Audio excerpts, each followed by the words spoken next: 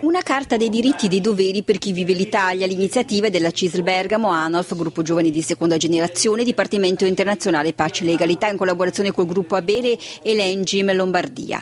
Coinvolti gli studenti che hanno redatto un documento che sarà presentato ai primi cittadini di tutti i comuni della Bergamasca per chiedere cittadinanza onoraria ai giovani nati e che vivono nel nostro paese, a prescindere dalle origini. Una proposta che dalla prossima settimana noi faremo ai 244 primi cittadini di Bergamo ai quali chiederemo di aderire alla Carta e proporremo anche di conferire la cittadinanza onoraria ai ragazzi nati o cresciuti in Italia che risiedono proprio comune, nel proprio comune da almeno 5 anni.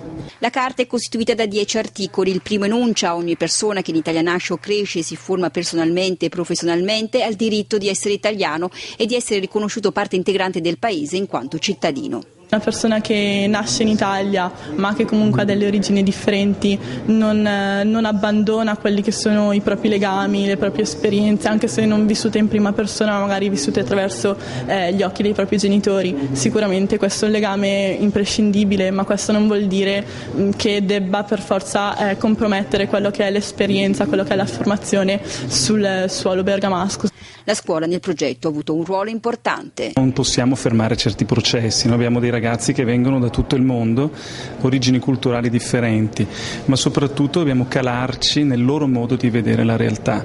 Penso che sia importante perché il paese non è costituito solamente da chi nasce in Italia o da chi ha genitori italiani, da chi ha radici in questo paese. Un po' di razzismo l'hanno tutti più o meno all'inizio, dopo magari lo conosci e sei simpatico, diventiamo amici, anche per quello è importante.